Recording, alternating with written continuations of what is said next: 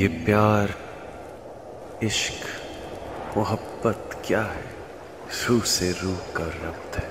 और क्या है?